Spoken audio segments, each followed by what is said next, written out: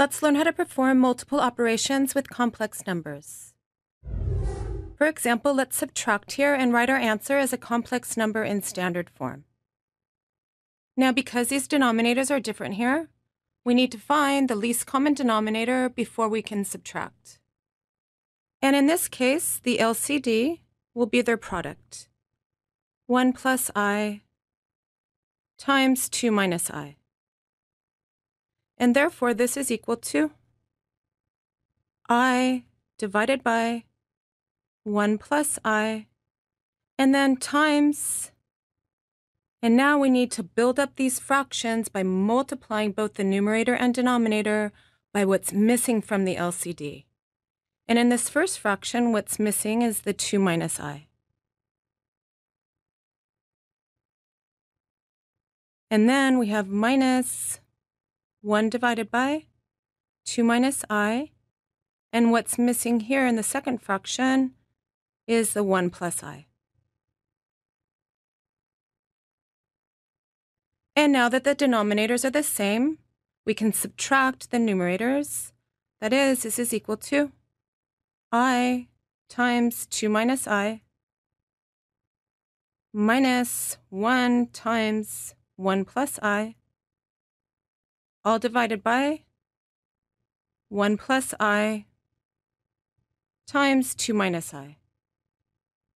And now let's distribute both the i and the negative 1 through, as well as FOIL out this denominator here, which gives us 2i minus i squared minus 1 minus i divided by 2 minus i plus 2i minus i squared.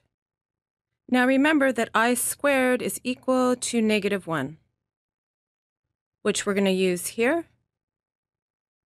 and here. That is, this is equal to 2i, and then minus a negative 1, which is plus 1, and then minus 1 minus i, divided by 2 minus i plus 2i, and then minus a negative 1, which is plus 1. Now let's combine like terms in both the numerator and denominator. The real part in the numerator is 0, isn't it? Because 1 minus 1 is 0. And the imaginary part is 2i minus i, which is i.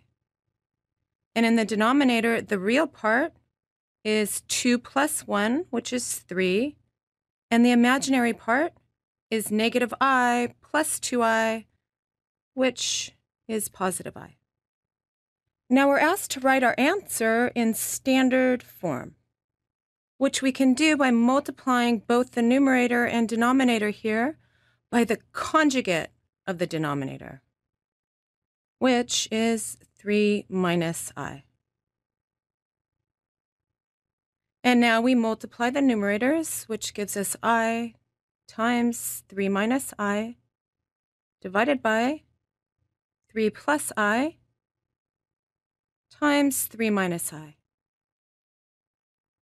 And now we can distribute this i through to both terms as well as FOIL the denominator, which gives us 3i minus i squared divided by 9 minus 3i plus 3i, and then minus i squared.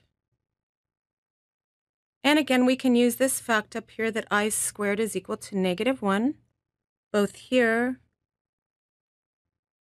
and here, which gives us 3i minus a negative 1, which is plus 1, divided by 9 minus 3i plus 3i, and then minus a negative 1, which is plus 1. And now the negative 3i and positive 3i in the denominator cancel, and we're left with 3i plus 1 divided by 10. And now dividing both terms in the numerator by 10 and writing the real part first so that it's in standard form gives us our answer of 1 tenth plus 3 tenths i. And this is an example of how we can perform multiple operations with complex numbers. Thank you, and we'll see you next time.